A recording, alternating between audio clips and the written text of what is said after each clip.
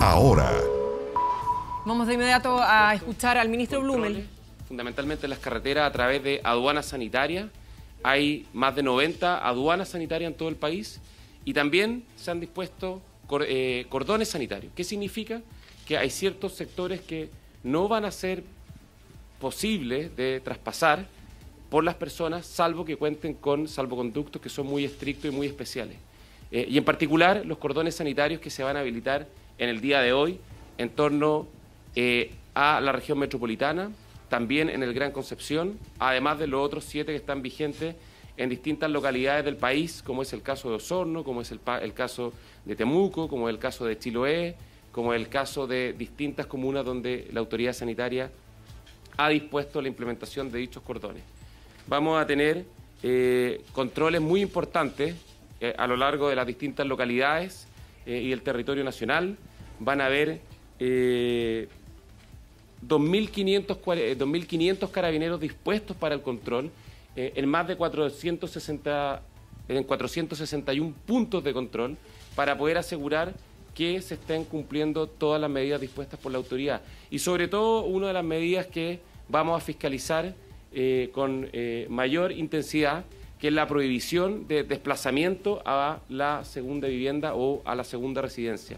Eso está absolutamente prohibido por disposición de la autoridad sanitaria, por lo tanto Carabineros va a estar controlando eh, en todo el país, en todas las localidades, especialmente en aquellas localidades donde habitualmente hay más desplazamiento, van a haber controles donde se va a poder verificar que las personas estén eh, donde corresponde y no estén donde no corresponde.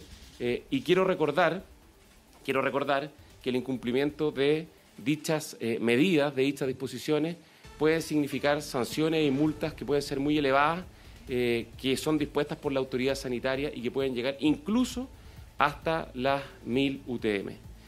por lo tanto, insisto, aquí es muy importante cumplir con las obligaciones, cumplir con las normas, cumplir con las restricciones que ha impuesto la autoridad sanitaria porque la prioridad fundamental es cuidar la salud de todas las personas, es cuidar la salud de nosotros, de cada uno, de nuestras familias, pero también cuidar la salud del resto. Y por eso entendemos que son medidas que son difíciles, que son exigentes.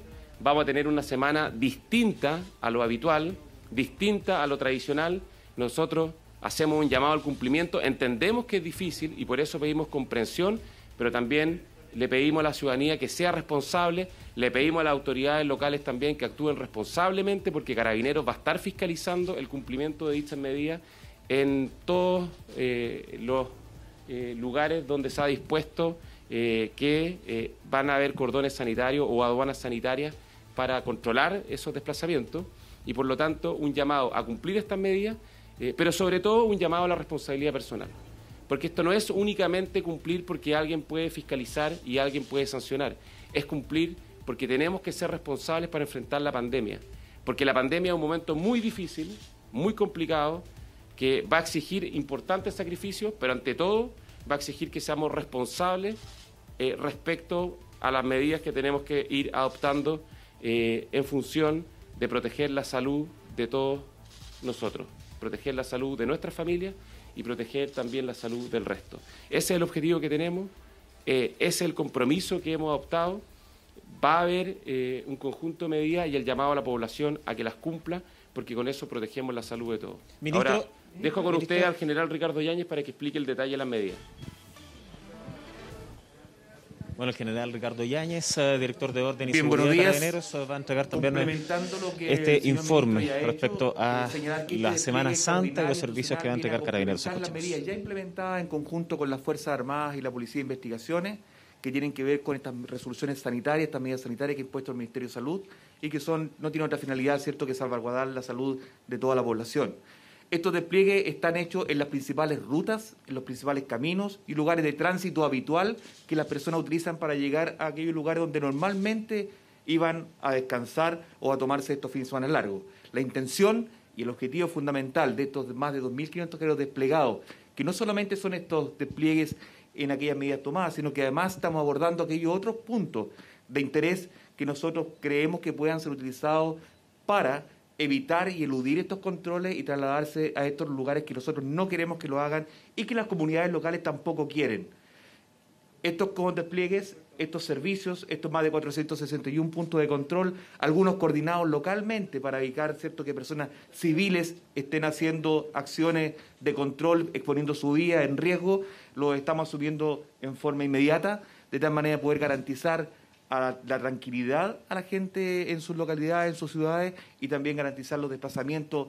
No nos olvidemos que hay un desplazamiento importante de transporte público y de transporte de carga que debe continuar para poder seguir abasteciendo los suministros en todo el país.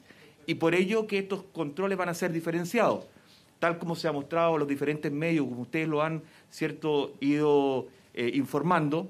Eh, tenemos una ruta que está exclusivamente para no entorpecer el desplazamiento del transporte de carga y otro donde hacen los controles el personal de carabineros en algunos puntos en conjunto con las Fuerzas Armadas y la Policía de Investigaciones para evitar que las personas se trasladen a esta segunda residencia.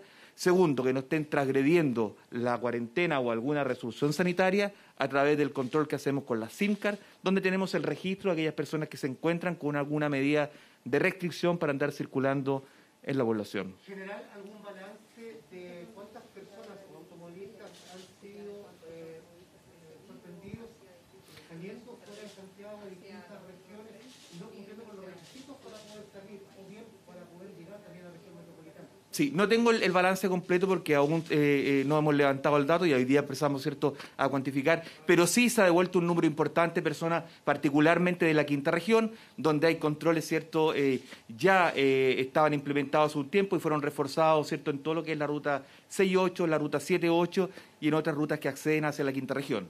General, para entender... Sí, vamos a tener Sí, vamos a tener un despliegue eh, tanto terrestre en el suelo con radiopatrullas, con motos de tránsito, para poder estar llegando a todos los lugares, pero también tenemos, ¿cierto? Vamos a tener patrullajes en avión, en todo lo que son las rutas más importantes, sobrevuelos en helicóptero y drones instalados en las principales plazas de peaje, de tal manera de poder el flujo, ¿cierto? Y los desplazamientos de, de los vehículos. General, para entender las mismas personas que fueron conducidas durante la jornada de ayer a regresar a la región metropolitana y durante las ah, próximas fechas se ven sujetas al código sanitario, o sea, las mismas multas que las personas que, por ejemplo, no cumplan con su mascarilla en el transporte público.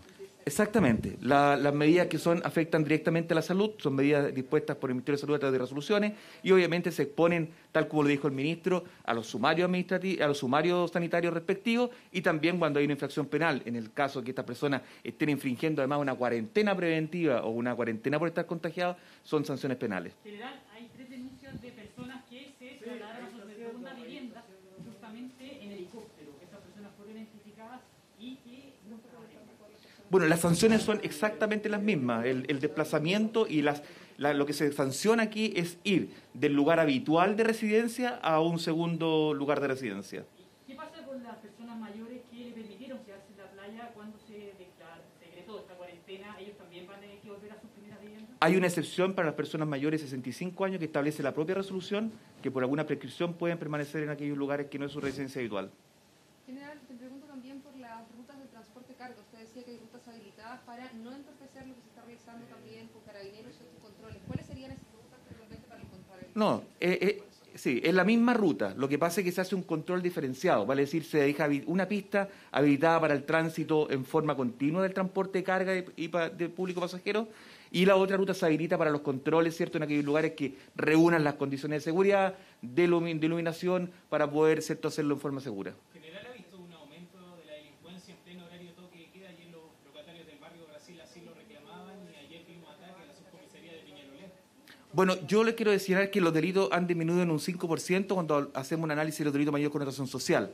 Obviamente hay algunos delitos que, dado a que hay restricciones de, de, tránsito de personas, los delincuentes mutan y se empiezan a cambiar a cometer otros delitos. Se hace más complejo, por tanto los delitos se nos forman delitos más violentos. Cuando agrupamos los delitos de robo, los delitos de robo han disminuido. Pero efectivamente cuando yo veo que el robo por sorpresa ya no se da porque tenemos menos gente en la, en la calle, ¿cierto?, transitando, el robo con, con, con, violencia también ha bajado, pero el robo en intimidación es el que ha incrementado. Efectivamente, hoy día para robarme un vehículo, yo necesariamente tiene que estar la persona al interior, porque lo contrario no puedo mover el vehículo, tiene que estar con las llaves. Pero para ello estamos haciendo despliegue, estamos trabajando con los servicios especializados, en conjunto con la PDI, estamos focalizando aquellos lugares de tal manera de poder Eh, hemos tenido una cantidad importante de detenidos respecto a esta materia y estamos haciendo coordinaciones con el Ministerio Público, ¿cierto? Y levantamiento de los análisis de los perfiles criminales de estas personas para eh, conseguir ciertas penas que sean realmente ejemplares. General, y los ataques a las comisarías, que es algo que ya no se había visto fundamentalmente debido a la emergencia eh, sanitaria, se vuelve a repetir en uno de los lugares, de las unidades policiales más afectadas respecto a esta situación. Bueno, hay que entender el contexto donde se desarrollan e-, e-, estos hechos. La verdad que más que un ataque el cuartel ayer, lo que se ocurrió fueron graves desórdenes públicos, donde hubo una cantidad importante de detenidos, muchos con órdenes vigentes, pendientes, otros por graves desórdenes. Y efectivamente lo que ocurre es que hay un grupo eh, y quiero decirlo, un grupo de personas que no han logrado entender la gravedad de esta emergencia que estamos viviendo como país.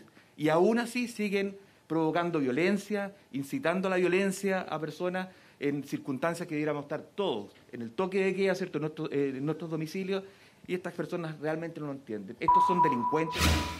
Ahora. Siempre en información relacionada,